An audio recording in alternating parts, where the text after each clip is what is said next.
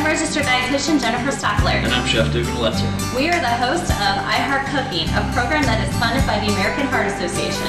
Uh, like I said, you're going to wait until it becomes translucent, and then you'll be ready to add your next couple ingredients.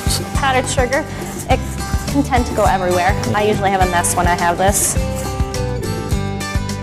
Join us on Monday nights at 9.30 on WETV Channel 20 as we cook up more heart-healthy recipes.